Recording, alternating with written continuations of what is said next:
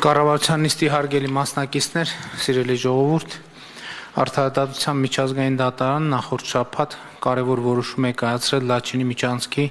ապօրինի արգելափակման վերաբերյալ։ Հայաստանի Հանրապետության դիմումի հիման վրա դատարանը վերահաստատել է սույն թվականի փետրվարի 22-ին կայացրած իրավական պարտադիր ուժ ունեցող որոշումը, որով Ադրբեջանին պարտավորեցրել է ձեռնարկել իր տրամադրության տակ գտնվող բոլոր միջոցները ապահովելու Լաչինի միջանցքով անձանց տրանսպորտային միջոցների եւ բեռների անխափան տեղաշարժը երկու ուղություններով։ Նման որոշմամբ դատարանը փաստորեն արձանագրել է, որ Ադրբեջանը չի կատարել սույն թվականի փետրվարի 22-ի որոշումը, հակառակ դեպքում այդ նախորդ որոշումը վերահաստատելու անհրաժեշտություն չէր առաջանա։ Սա կարևոր նրբություն է։ Հուլիսի 6-ի որոշման 28-րդ կետում դատարանը հիշատակելով հայկական կողմից իրեն փոխանցված տեղեկատվությունը, որ այսպես կոչված բնապահպանների ակցիա այլևս տեղի չի ունենում, բայց հիմա էլ Լաչինի միջանցքով տեղաշարժը ընդհատված է Ադրբեջանի կողմից անցակետի տեղադրման պատճառով արձանագրել է, որ հարցեությունը սրանից չի փոխվում, որովհետև Լաչինի միջանցքով տեղաշարժի ընդհատման հետևանքները Լեռնային Ղարաբաղի հայերի համար նույնն են, ինչ 2022 թվականի փետրվարին։ Հետևաբար դատարանի մոտեցումը եւ իրավական պարտադիր ուժ ունեցող որոշումը նույնպես մնում են նույնը։ Այնուամենայնիվ դատարանի փետրվարի 22-ի եւ հուլիսի 6-ի Նույն ապովանդակ որոշումների մեջ որոշակի նյուանսային տարբերություններ կան, որովհետև եթե փետրվարին Ադրբեջանի կառավարությունը ասում էր, թե բնապահպանական ակցիան իր կողմից չի կազմակերպվել եւ դա քաղաքացիական հասարակության ինքնաբուխ գործողություն է, հիմա նման բան ասելու հնարավորություն չունի, որովհետև հիմա արդեն Լաչինի միջանցքը արգելափակված է Ադրբեջանի բացառապես պետական կառույցների գործողությունների պատճառով։ Եվ հետևաբար արդարադատության միջազգային դատարանի որոշմամբ վերահաստատվում ել ավելի ամրապնդվում Ադրբեջանի կառավարության պատասխանատվությունը Լեռնային Ղարաբաղում խորացող հումանիտար ճգնաժամի համար։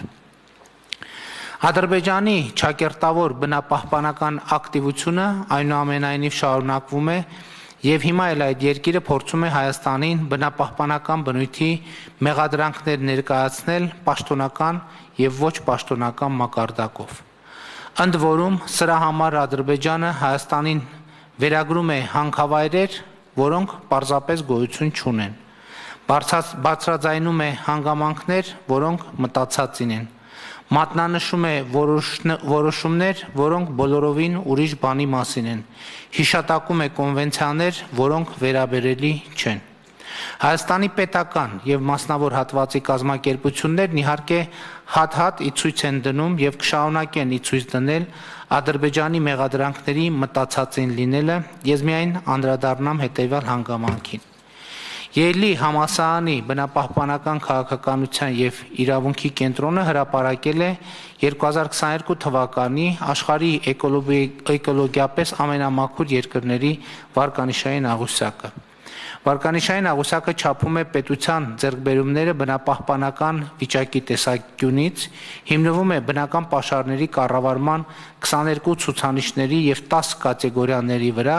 որոնք շրջակա միջավայրի պահպանության հարցերին անդրադառնում են էկոհամագարքի կենսունակության, կենսաբազմազանության պահպանման, կլիմայի փոփոխմանը հակազդելու, բնակչության առողջական վիճակի, շրջակա միջավայրի տնտեսական գործունեությամբ ծանրաբեռնվածության տեսանկյունից, ինչպես նաև չափում են պետական քաղաքականության արդյունավետությունը բնապահպանության ոլորտում։ Եվ ահա 2022 թվականի վարկանիշում Հայաստանը զբաղեցրել է 56-րդ տեղը, իսկ Ադրբեջանը 104-րդ։ Թափանցիկ եւ պատասխանատու հանքարդյունաբերության կազմակերպման գործում Հայաստանի Հանրապետության առաջխաղացումներն ու ձեռքբերումները արտահայտված են նաեւ արդյունահանող ճյուղերի թափանցիկության նախաձեռնության հրապարակումներում։ Վերադառնալով Լաչինի միջանցքի ապօրինի արգելափակման եւ դրա հետևանքով Լեռնային Ղարաբաղում խորացող հումանիտար ճգնաժամի թեմային, ընդգծեմ, որ արդարադատության միջազգային դատարանի պարտադիր իրավական ուժ ունեցող որոշումը հնարավորություն է տալիս խնդրի շուրջ ավելի մեծ միջազգային կոնսոլիդացիա ապահովել Ադրբեջանի կողմից Լեռնային Ղարաբաղում վարվող էթնիկ զտման քաղաքականությանը հակազդելու համար։ Այս առումով չափազանց կարևոր է նաև միջազգային մեխանիզմի շրջանակներում Բաքվի եւ Ստեփանակերտի միջև երկխոսությունը Լեռնային Ղարաբաղի հայերի անվտանգության եւ իրավունքների ապահովման օրակարգով։ Կառավարության նիստի հարգելի մասնակիցներ, սիրելի ժողովուրդ։ Երեք Հայաստանի եւ Ադրբեջանի սահմանին տեղի ունեցել Հայաստանի Հանրապետության պետական սահմանի սահմանազատման ու սահմանային անվտանգության հարցերով հանձնաժողովի եւ Ադրբեջանի ու Հայաստանի միջև պետական սահմանի սահմանազատման պետական հանձնաժողովների 4-րդ հանդիպումը։ Այդ մասին տարածվել է հաղորդագրություն։ Շաբաթ օրը հուլիսի 15-ին Բրյուսելում նախատեսված է իմ հանդիպումը Եվրամիության խորհրդի նախագահի եւ Ադրբեջանի նախագահի հետ։ Ես հաստատել եմ իմ մասնակցությունը այդ հանդիպմանը։ Հույս ունեմ հանդիպման ընթացքում առաջընթաց արձանագրել խաղաղության պայմանագրի շուրջ բանակցություններում։ Շնորհակալություն։ Այժմ առաջարկում եմ անցնել կառավարության նիստի օրակարգին։ Օրակարգի նախագծի վերաբերյալ